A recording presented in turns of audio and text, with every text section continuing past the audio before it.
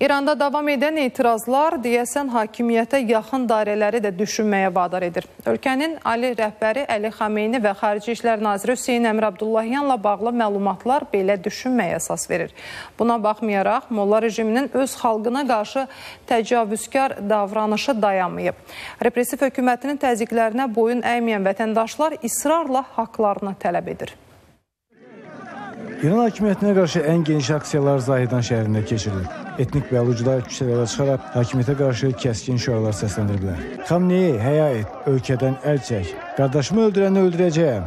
İllər boyu cinayət, ölüm ola bu rəhbərə kimi şüarlar səsləndirən narazı bəlucular onlara qarşı etnik ayrı seçkiliyə son qoyulmasını tələb ediblər.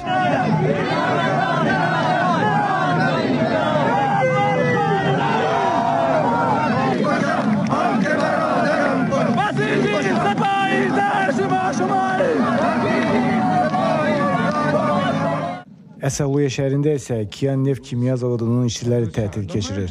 Fəhlələr bir müddətdir ki, əmək haqqının 79% artım əsasında təklif etdikləri siyahıya uyğun artırılmasını tələb edirlər. İEZ Pololəritmə şirkətinin işçiləri də ölkə üzrə bugünkü ümumilli fəhlə etirazlarına qoşulublar. Qərbi Azərbaycan əyalətinin Saqqız şəhərində isə yerli əhali Ramazan bayramı münasibəti ilə Məhsa Əmini və digər xalq hərəkatı qurbanlarının məzarını ziyarət ediblər. Molla rejimi də izdihamdan qorxduğu üçün polis dəstələrini əraziyə göndərib.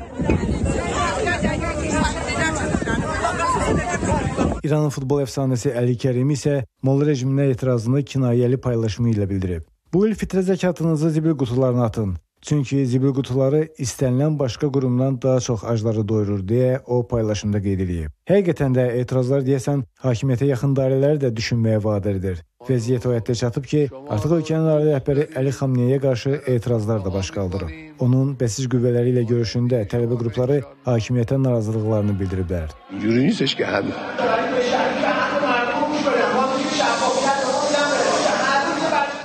Əgər ona